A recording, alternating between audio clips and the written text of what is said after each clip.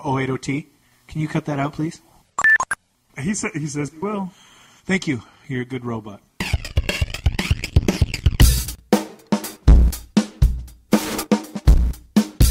You're listening to the Dunesteef Audio Fiction Magazine. And now, here's your hosts, Rish Outfield and Bigg Anklevich.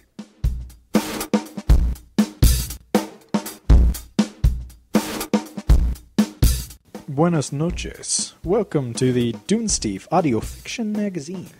volume one, number two, page 60. Nice. I am one of your hosts, Rish Outfield. And I am another one of your hosts, Bigg Anklevich. And our last host is over here in the corner. His name is R080T. But we don't have time to introduce him this week, so we'll go right on to our story, which is Framing and Mounting Fairies by Kevin Anderson. Kevin Anderson has published 60 or so stories over the past few years in markets like Dark Animus, Darkness Rising, Dark Wisdom. Well, a lot of publications with the word dark in the title, which is a little misleading because he's really not a dark guy. He lives in sunny Southern California with his wife, children, and a turtle named Chalky, or Rock, depending on which kid you ask. In the last year, his stories have been produced in audio on fiction podcasts like Pseudopod, The Drabblecast, Well Told Tales, and, by the end of 2008, Sniplits. Currently, he is seeking an agent for a YA novel and looking for a publisher for a collection. Website www.kevin-anderson.net.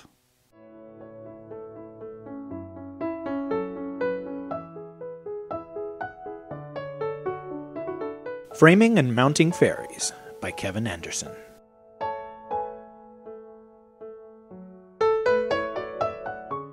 The following article first appeared in Creating with Nature magazine, August 1996.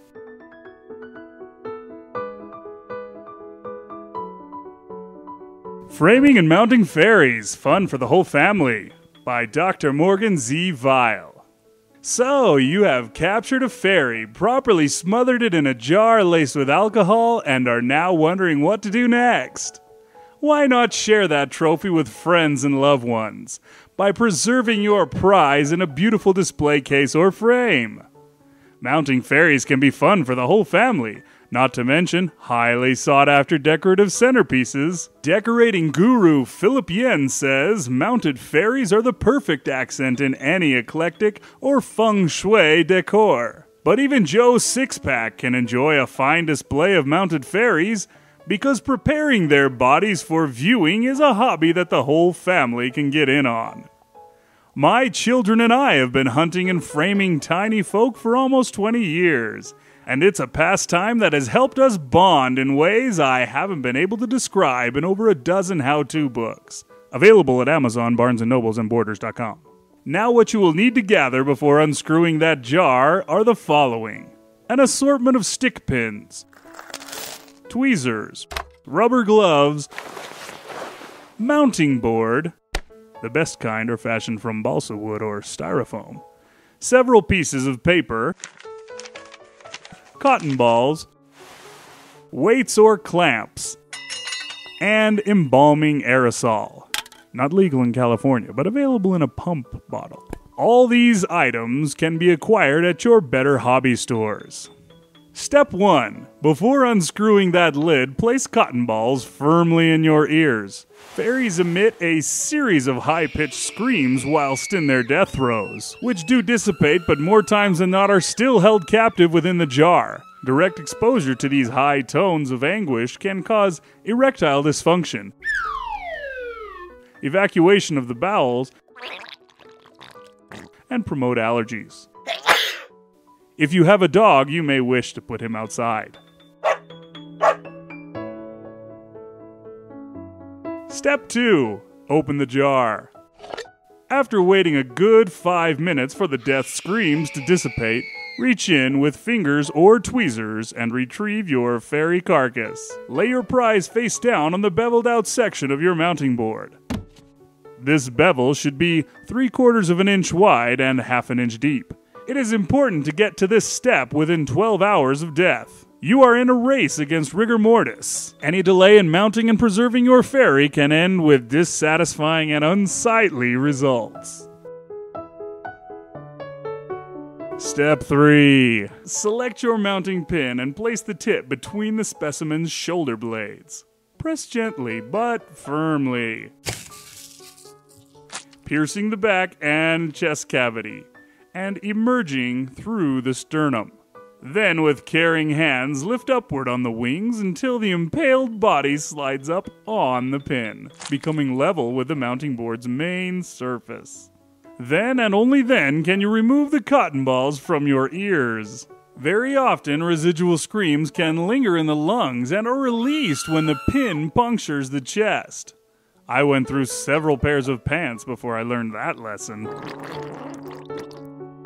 Step 4. With a steady hand, spread the wings flat on the board. Upon touching a fairy's wing, you will discover a fine dust will come off on your fingertips. This dust comes from row upon row of tiny scales that cover the wings. It is these scales that make the lovely designs of color and light. But it is these same scales and excreting dust that give the North American skunk fairy its paralyzing odor. Even in death, this noxious creature can have toxic effects. Proper breathing protection can mean the difference between a festive fairy mounting experience and a trip to the emergency room with all your limbs going numb. But let's assume we are dealing with a simple, common, everyday fairy such as the Bayou Beauty or the New England Swallowtail. Continue on by laying pieces of paper over the wings, using your pins to secure the paper to the board. Careful not to pierce those wings. They are as fragile as toilet paper and can tear at the slightest provocation. Step 5. Take your weights or clamps and secure the board to your desk or work table. Fairies are clever creatures and often find ways to mimic death, even during the piercing. They just wait until you step from the room, then try to flee, taking the mounting board with them. I once stepped out to answer the phone before securing the board and returned to find it spinning in the air like a barn shingle caught in a dust devil. Before I got it under control, I had a busted lamp, a cracked computer monitor, and a very perplexed cat.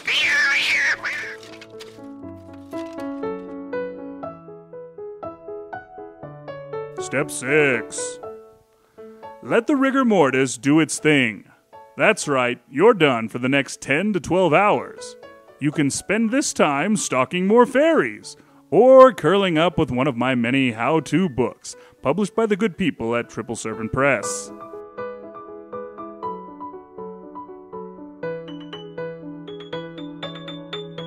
Step 7. We're almost home now. After a minimum of 10 hours, release the pins holding the paper, and you will notice that the wings are permanently spread out, displaying their wealth of beauty. You can now remove the fairy from the board by holding it by the head of the pin used to impale the chest. If you flip the fairy over, glancing at its face, you will notice that the expression frozen on its tiny features during suffocation is not the most pleasant thing to gaze upon. If displayed in this state, it would frighten and disgust children, potential girlfriends, and, speaking from experience here, mother in laws. Now is the perfect time for a bit of what I call molding. Take your tweezers or stick pin and gently nudge the curls of the fairy's mouth from a painful scream to a delightful, sprightly smile. At this stage, the fairy's skin molds like clay and you can sculpt any expression you wish. Experiment, have fun with it. Step 8.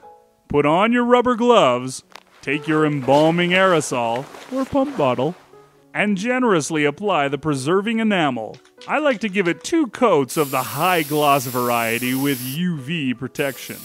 This will keep your fairies from fading, chipping, or peeling. Now your prize is ready for framing. you can now hang it up on the wall and pat yourself on the back for a job well done. That's all for now, my fellow fairy hunters, and remember the only good fairy is a mounted fairy. Happy hunting!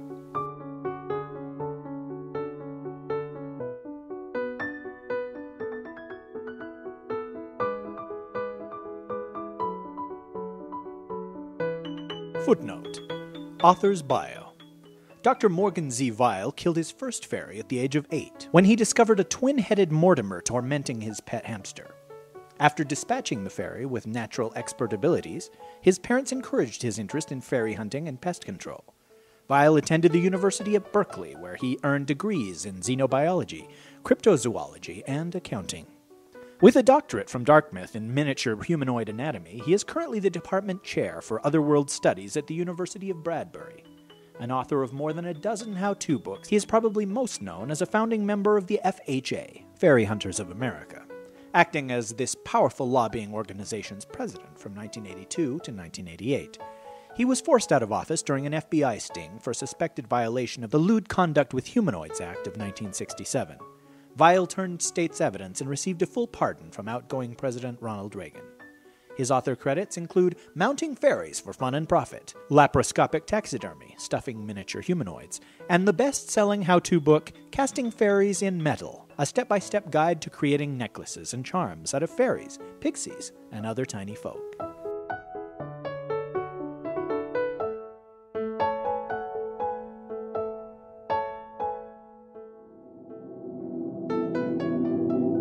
Excerpt from eBay auction number 3456788870, listed on October 31st of this year.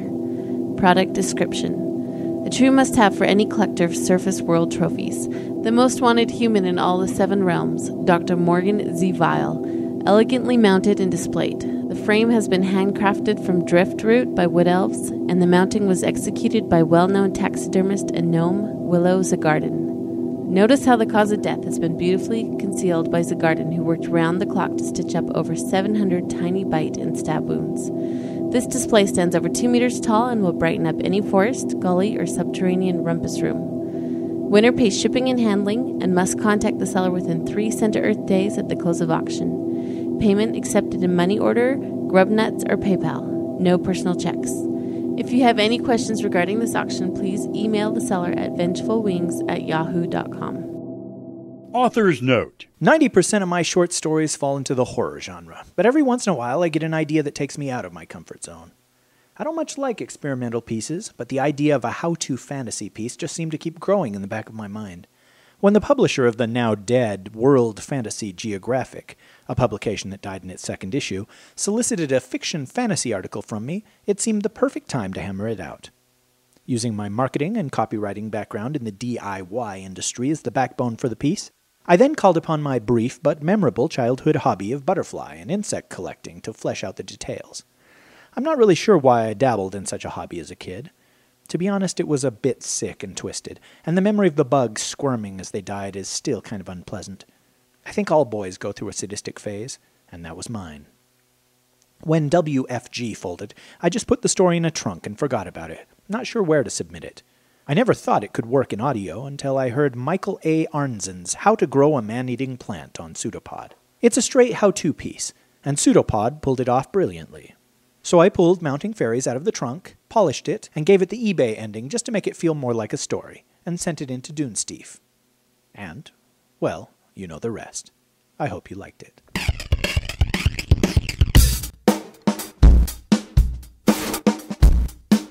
All right, welcome back. Thanks for listening to the story. I hope you enjoyed it. Kevin, thank you for submitting that. Man. That's right. It was a wonderful story. Um, It was as twisted as my life. and if you enjoyed that story, or if you didn't enjoy that story, stop on by the website, www.dunesteef.com, D U N S T F dot com, and leave a comment. I think pretty much all the authors that have, have sent us stories really appreciate hearing whatever it is you got. and another thing that the uh, authors appreciate is that we pay them real money for their stories. And uh, the way we get that money is that you go to a job every single day, and I just sit back and wet the bed. But preferably, He's not kidding. there would be donations that are coming in. People that just want to leave a couple of bucks to see that that goes to a worthy cause, and that worthy cause would be the writers that are submitting these great stories. And uh, also, one day, I aspire to not have to hold this microphone. uh, we got a PayPal link right there on the website. You can click on that. In fact, you can press the button. Yes, you could press the button. You can do that. Send us anything that you would like. Yeah, I- you can you can donate a one-time donation where you just you know say, hey, I'm going to give them five bucks and that's it. I'm never giving them anything else. That's all they're worth. Or you can donate five bucks a month, or five bucks a quarter, which is every three months, which is once an issue. Has anybody ever done that? With the quarterly, monthly, daily? I don't think so. Oh. So the holidays are upon us. It would be really a nice thing to do to send us a donation. Yeah. We would be honored if you would join us. Hey, uh, the other day you told me that somebody aired our promo on their podcast. Yeah. Can you say aired with a podcast? Anyways, sorry. Um, Somebody featured our promo? well, it doesn't ever go out on the air. Anyways, yeah, that's right. Uh, uh, we've actually had our promo played on a couple different podcasts. As poorly done as the promo may have been, maybe someday someone other than John Smith will actually uh, give it a listen. well, John, if you're out there and you have a podcast, you might consider putting our promo up there. But how, how would he do that? We have the uh, promos available for download on the website. There's even two to choose from. Just slap it on any podcast you got. We'd love for somebody to know that we exist. Please. Anyways, You know, last podcast, the Uberman one, we were supposed to have talked about the October Scary Story event and, and how that went. We we didn't quite get to it. Do you remember why? You know, I'll bet it was the robot's fault. Somehow, I've got a feeling that our 080T dropped the ball on that one. Thanks, 080T. My guess is uh, that means uh, you're welcome. wow. Amazing how you can just figure that stuff out. It's you won't even need the little translator program anymore. You know, Big, you're my little translator program. As gay as that sounds. That's what she said. Mm, you know, I don't, I'm not sure you're doing that right. Oh, that's what she said? Oh, much better. so, hey, let's talk about the October Scary Story event. Basically, it was just not really a contest, but just I invited people to send in stories that they started around October 1st, and, and the deadline was October 31st. Just something they wrote during that month, and it had to be scary. And, you know, I, I, I wish I had been more. It's, it's not explicit, it's a word like explicit. Uh, gratuitous? No, no, no. Like I wish I had put it out there much more clearly that you were supposed to write it within that time. But, but you know what? That's that's fine. I just when somebody sends in a story and it was previously published in 1962 in Weird Tales, I kind of get the feeling they didn't write it this October. Yeah. But anyway, it was really cool that we got so many submissions. Yeah, we were was. reading through them, and uh, well, there weren't a mountain of them, but there were. there was a um, few. and there, was, a molehill of them. Yes. Well, we're not going to make a mountain out of that molehill, but we are going to talk about them. Uh, you're mocking me, aren't you? Uh, no, no, never, sir. So there were a few submissions for the uh, October Scary Story event. Um, oh, there was that one where uh, Rish Outfield finally got his comeuppance for his years of bastardry. Uh, when the normally kind and affectionate robot uh, comes to life and attacks him when he's on the toilet. I, I, I didn't read that one. Oh, that's okay. You will. Wait, wait, what does that mean? Then there was that one that was like a total ripoff of The Ring, where this high school kid goes to school library and there's this mysterious video and he watches it and it's cursed so that anyone who watches it dies horribly. Dude, I, I that was actually a pretty good story. I, I liked it anyway. But I really doubt Gore Verbinski's lawyers would like it. Dude, it was nothing like The Ring. What's on the cursed video? The ghost of a murdered librarian. And how do the people who watch it die? Well, they get scared to death, and when somebody finds the bodies, they're all gray and Rick Bakered out. And how do they defeat the curse? They make a duplicate of the video. So how is that not The Ring? Well, It's a DVD instead of a video cassette. Uh, okay, you've got a point there. I guess when when you're right, you're right. So there was also that one where it was about the t- kids that come um, trick or treating at the house. Oh, oh, that, that yeah. Uh, I had my niece in the room when I was reading through it, and she came in right when I got to the part where the trick or treaters go trick or treat, bloody feet, Oh, uh-huh. and she read that part aloud, and I was like, you know what, you're hired. When we do this actual thing, I'm going to get you to do that. And That'll be good. yeah, she she's really into that kind of sick, twisted stuff. I often wonder if she might be my kid, which is very wrong. At least related to you. Oh uh, yeah, there you go. There's the excuse. The, I I really dug the one about the the girl that was picked on at school, and everybody called her a witch, and so there was like the bully that's mistreating her or whatever. And um, well, we learned that this is not a girl you mess with. Right. Yeah, that one was good. And then there was that other one too. Uh, it's kind of based, I think, on that urban legend or whatever it is, where like you go into the bathroom and you chant Bloody Mary or something like that a bunch of times, and then you see the ghost of Bloody Mary in the in the mirror or whatever it is. I think that's how it goes. That's how the That's that's how it was when I was a kid in kindergarten. We we lived in this lived. We went to this old old school that had been there since like the depression, and they tore it down when I was in fifth grade. But when I was in kindergarten through fourth, yeah, we it was just old and cold and falling apart, and we would go in this one bathroom, and uh, all the tile was really reflective, and they'd say that if you would chant Bloody Mary three times in there, that you would see her reflected in the tile. And yeah, it was one of those things where we would try and do it and freak ourselves out so bad we'd go running out into the hall screaming kind of thing. yeah. So it's kind of based on that, except for in this one they go to the cemetery and they they chant. It's just really cool. I liked it a lot. It was Nice. Uh, there was also the one uh, where there's the doctor. No, no, not a doctor. The surg- surgeon. The what do you call somebody that operates on dead people? uh, coroner, right? Or well, I call them mom, but uh, right. Okay, so there's a coroner, and he discovers uh, a way to extract the soul out of dead people and serve it up to people to, to drink. Is that right? I, yeah. Okay. I know. Yeah, that one was good.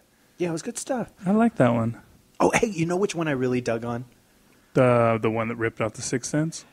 Hey, instead of Bruce Willis, it was Haley Joel Osment that was dead. Okay. So which one did you really like? Okay, so it's the one where the, the kid really wants to see a vagina, right? So he makes this wish, and then suddenly he, he starts seeing vaginas everywhere he goes. You know, they're on dogs and, and, and flowers and, and on the moon and on his teacher's forehead. Uh, and, and he starts screaming, No, no, please, no more vaginas, please, I beg of you, Hey, no Rish, more vaginas. Rish, Yeah, big? What? that was your story, wasn't it? How could you tell? Did you hear a buzzing sound? Yeah, but it's really soft. Anyway, I really like the one where the guy goes insane and he kills his family for no reason at all, except for some minor annoyance that was going on in his life. Big, that sounds an awful lot like your story. Uh, which one? All of them. Ha ha. Yeah, well, it was a good story. Man, we got to do something about that buzzing. It's not. Anyway, there was also that one with, with the fat twin and the skinny twin where they decide they're going to switch places, and so the fat one stops eating altogether, and then the skinny one. Wait, wait, wait a minute, Big. Uh, yeah. Where is your family? Oh, they're around. Uh, what, what, what were we talking about? Scary story event. So, how do you want to handle this? I, figured what we'd do is we'd take the best of these stories and we would uh, maybe once a month we do a, a podcast of stories that made the cut, and we could start in January. And you know we could we could even make it like a franchise. We could brand it. We could put like a, a little subtitle. What do you call a title that's before the title? Pre-title. I don't know what the heck they call it, but we could do something like that. You know, like like the new X Men movie where it's going to be X Men Origins colon Wolverine, or the First Avenger colon Captain America. Except for this one, it'll be October Scary Story Event colon, and then uh whatever story it is that we're doing. So we do like one a month, like that. I, And- hey, I, I've got a great idea. yeah, Let's not do that thing with the colon. semicolon. Okay, we got a deal. Okay. So we'll keep people updated on that. And thank you for sending in the scary stories. If we're both still alive uh, when October comes around again, maybe we'll do it again. Yeah, that would that would be cool. Even if somebody knocks you off, I may still carry it on in, in your honor. Can you carry something on in honor of someone who never had honor? You're a monster. You know that? and I'm going to call the police as soon as we're done. Okay, so I guess that brings us to the end of our pod. It's time for the hate letter of the week. Oh, we almost made it. Wow, do you, do you want to read this? Uh, I think it's your turn, man. Uh, you know, I, I don't I don't really want to read a, a hate letter this week. You do it, okay? Uh, I really don't want to do it, man. It's Oh, uh, I know. We'll have 080T read it. uh, you know, I don't think he could read it really because people wouldn't really understand unless I translated the whole I way. But I got, you know, I got an idea. He could pick who could read. He could pick who who needs to read this uh, week. He's just gonna. Oh, look. He says it's your turn. He picked you. That's a that's a big shock. Okay, here we go. To Rish Outfield and Bigg Anklevich. I would like to be considered for your hate letter of the week, but I doubt that I'll be chosen. The reason for this is that I think that your hate letters are fakes. My first hint was that all the names were just a little too silly, and my second was that people signed their names at all. Well, maybe they used a pseudonym, you know, a fake name, so that Yeah. I don't know. But the clincher was the one a couple weeks ago where the writer actually created a poem to tell you how stupid you are. Like someone would really sit down and do that. I think the hate letter writers are just made up, and that the two of you sit around trying to come up. Okay, just just just hold it right there, Mister Uh, Jones. Mister Jones. If we were making up fan letters, wouldn't we come up with complimentary things to say about ourselves and how great we were? Yeah, that sounds pretty logical to me. Y- you know what? That's not good enough. I think you're the one that's made up Mr. Jones. You don't exist. What do you think of that? Keep those cards and letters coming, folks. Well, we've come to the end of another podcast. I appreciate you guys listening, for sending in your stories, and uh, keep on trucking. That's right. And so, as usual, I'm Bigg Anklevich. And I'm Rish Outfield. And I'm stressing that on the axiom, you will survive. I don't want to survive. I want to live. Good night. And have a pleasant tomorrow.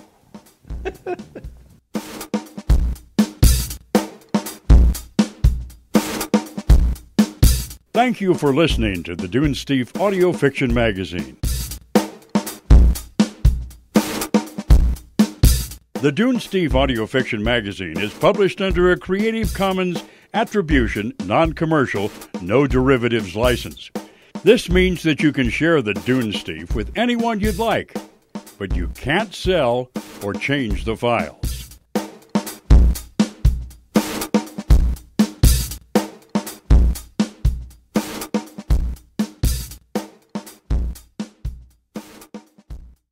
That's right. Kevin Anderson uh, has written a lot of stories for publications with the word dark in it. That's all right. I've written a lot of stories for publications with the word dork in them, but